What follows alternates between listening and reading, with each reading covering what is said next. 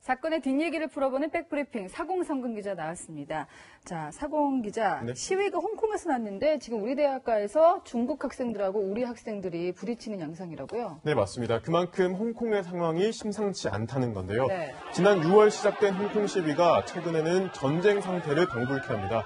한국 대학생들이 이런 홍콩의 민주화 시위를 지지하면서 반대하는 중국 유학생들과 전국에서 마찰이 일어나고 있는 겁니다. 네. 그 마찰의 수준이 어느 정도인가요? 네, 함께 전국 대학가에 설치된 레넌벽을 보시겠습니다. 네. 홍콩 항쟁 지지한다. 폭력은 민주화가 아니다. 이런 글이 홍콩 시위 벽에 레넌벽에 붙어 있습니다. 네. 이건 한국 학생들이 게시한 것들이 먼저 있고 예. 중국 학생들이 그 위에다가 덧붙이고 있는 건데요. 홍콩 정부 네. 사죄하라고 네. 중국 학생들이. 홍콩은 영원히 중국의 땅이다, 뭐 원차이나 이런 글들도 주장하고 있고요. 이런 상황이기 때문에 홍콩 학생들 심지어 대자보를 훼손하고도 있습니다. 네. 이것 때문에 마찰이 일어났고 몸싸움까지 번지기도 했습니다. 몸싸움으로요. 네. 근데 문제는 이게 반중 감정으로까지 번지고 있다는 거잖아요. 네, 일부 한국 학생들은 마라탕도 먹지 말자. 최근에 유행하고 있는 중국 음식이잖아요. 예, 예. 마라탕을 먹지 말자 할 정도로 반중 감정이 격화되고 있습니다. 한국 학교 근처에서 운영되고 있는 중국인 식당 정보를 네. 공유하는가 하면 원래 나는 중국인이 싫었다. 이런 반응도 있습니다. 음. 네. 이 물론 물리적 충돌이 우선이었기 때문에 이런 반응이 나타나는 건데 네. 이런 뭐 감정적인 혐오로까지 이어져서는 안 되겠죠. 그런데도 학생들이 홍콩을 지지하는 이유가 없는 건 아니잖아요. 네, 예. 맞습니다.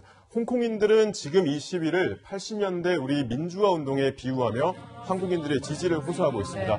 이 지금 들리는 노래가 홍콩 시위 현장인데 임을 위한 행진곡입니다. 매우 아, 익숙하죠. 그러네요. 네. 예. 홍콩에는 80년대 민주화 운동을 그린 국내 영화들도 굉장히 많이 상영이 됐는데요. 네. 영화 속의 모습도 지금의 홍콩과 매우 비슷합니다. 네. 이 최근에는 중3 학생이 머리에 최루탄을 맞고 중대에 빠지기도 했는데요. 예. 사태는 점점 더 격렬해지고 있습니다. 네. 이 우리 젊은 세대들이 80년대 혹은 이런 격렬한 집회를 직접 겪진 않았지만 네. 음. 남일처럼 보이지 않는 거죠.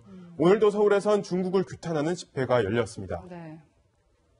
남의 일이라고 생각하지 않고 어, 저희도 이제 민주화 운동을 했던 경험이 있으니까 그 경험과 역사를 살려서 어, 홍콩 시민분들에게 작은 힘이라도 되면 그 정부는 뭐 중국과 관계가 있으니까 말을 지금 네. 못하는 사이에 학생들이 나선 건데 우리 학생들이 어떤 말들을 많이 하던가요? 네, 학생들이 일단 입장문을 내놨는데 중국 학생들에게 과도한 비하는 삼가자 네. 우리 성숙하게 대응하자 이런 입장입니다.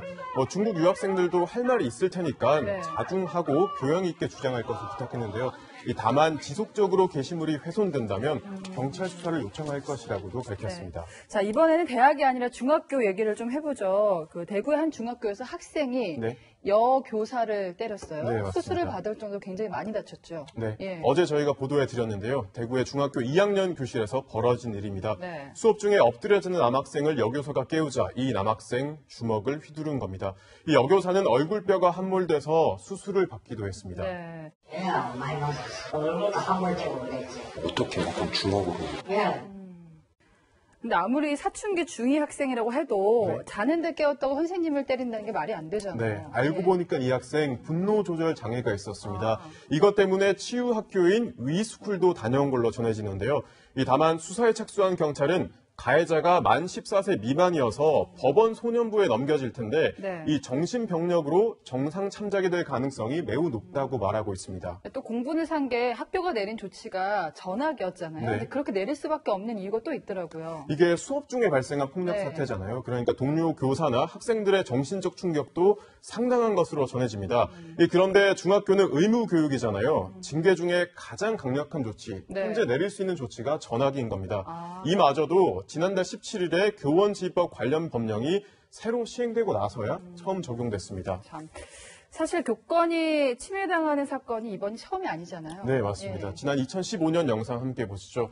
학생들이 선생님을 빗자루로 때리고 심지어 침까지 뱉는 일도 있었습니다. 그런데 이 영상은 다른 학생들이 웃으면서 찍은 상황이었고요. 네.